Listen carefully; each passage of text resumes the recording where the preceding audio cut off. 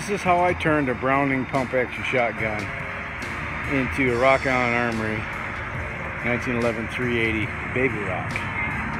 Starts in about probably 1995, 96, around that era. So in 96-ish, I was running a crew and I had uh, one right-hand man, a guy that I'd known for most of my life since I was about 11 years old.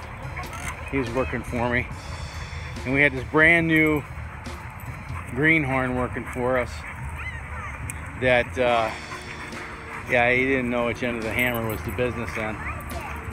But anyway, we were working out of town. We were working in Battle Creek, Michigan. And um, at the time, I was hunting a lot. And this out of town work was eating into my hunting time. So, okay. Okay. So we uh, looked at the map on Mich the Michigan map that I had and found a state game area that was like five miles from our hotel room. So, hey, let's bring our guns to work next week and we'll do a little small game hunting. So, we brought our guns to work the following week.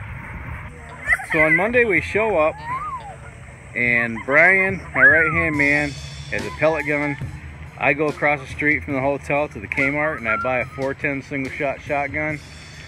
And the new guy, let's just call him Junior, he shows up with a uh, Browning pump shotgun.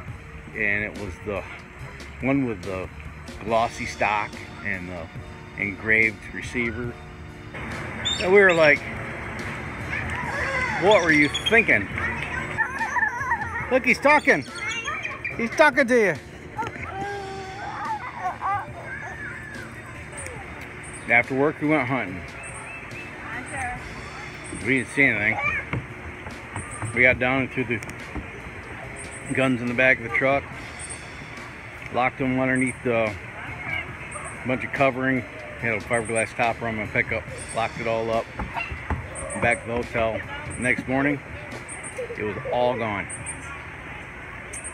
And I told Junior he was beside himself. I told him, don't worry about it, my insurance will cover it. Hi, baby. So the young man, after a couple of days, you know, dragging his feet and feeling sorry for himself, uh, happened to overhear him talking to his girlfriend on the phone back at the hotel, and he was crying. He was so sad. I felt bad for him for about two seconds, and I realized he's a 20 year old man, and he probably shouldn't be crying over a girl. But lesser things have happened. And we woke up in the morning, and he was gone. And he packed up all his stuff in the middle of the night and split. So, when the check did come, I contacted him and left a, a, message in his voicemail saying, "Dude, I got your I got your money for your shotgun. Get a hold of me so I can get this to you."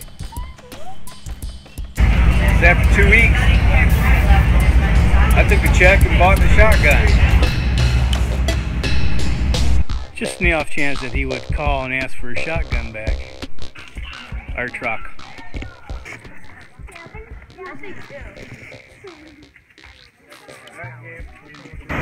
But the phone call never came. So I kept it. So I did what any red-blooded American would do with a shiny new shotgun. I went hunting with it. Once. And then when I got home, I found a big scratch in the stock. So I didn't use it hunting anymore. I put it back in the safe and that's where it sat for 20 years. So 95-ish that gun cost $497 and MSRP on that gun today is 850 roundabout. No I didn't get 850 for it but I got a pistol for it. And I've already used the pistol more than I've ever used the shotgun. I think maybe 100 rounds to that shotgun in 20 years I'm in the wrong now. So fast forward 20 years. I go to the gun store. I see this pistol in the uh, cabinet. I mean, I could have probably just paid for it right there, but I didn't want to tie up the funds. I asked her if she had a, a layaway program, and she said, "Yeah, we got a layaway program, 20% down, balance in 30 days." Uh, you know, I might do that. So I went home, and I'm thinking about it. You know, what what's in my gun cabinet that uh, that I can get rid of and, and not lose any sleep over? Immediately, a Browning shotgun comes to mind. Here's a gun that's been sitting in my gun safe for 20 years. I took it hunting once, 20 years ago, and I, in fact, I still have some of the original shotgun shells that I bought for that hunt in my possession. So I've got less than 100 rounds ran through that gun. Yeah, why not? I'm not going to do anything with that shotgun. Why don't I just trade it for that pistol? I know I'm going to shoot the pistol. So I took the Browning and I went back to the gun store and I talked to the owner and I said, "Do "You want to trade?" He said, "Sure." So we traded.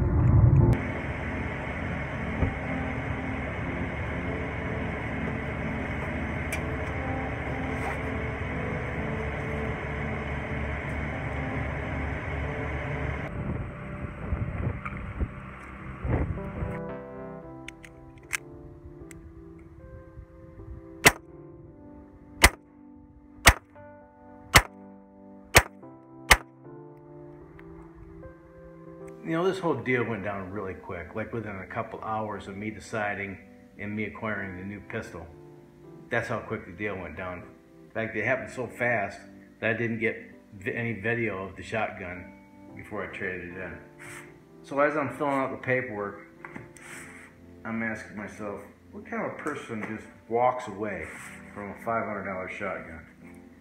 After, I mean, it's not like I didn't try to get in, get with this guy to get him a shotgun back. I wanted him to have his shotgun back. I didn't care that he left the job. In fact, he did me a favor. He freed me up to be able to do what I do.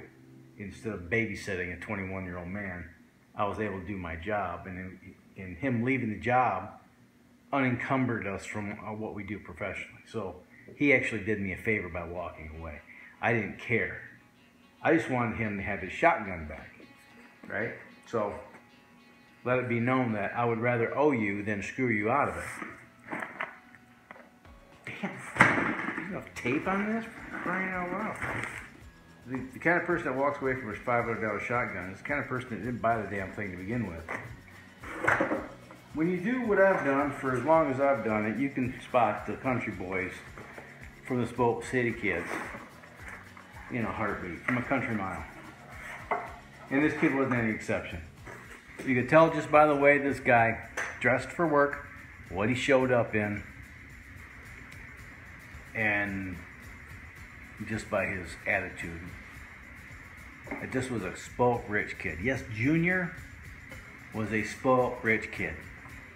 This guy had everything he ever wanted in life given to him, no questions asked if I'd have paid $500 for a shotgun when I was 20 years old, I would have kept my job until I got my shotgun back.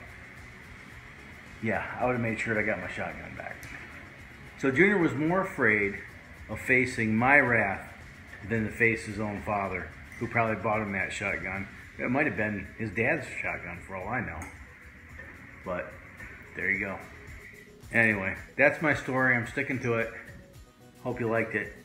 If you didn't, I'm so sorry I wasted your time. I really am. I appreciate you taking the time to watch this video. Until next time, have fun, stay safe, shoot straight, keep your powder dry, and have a splendid day. You should see what's going on off camera. huh? You're so funny. Look at me. See ya.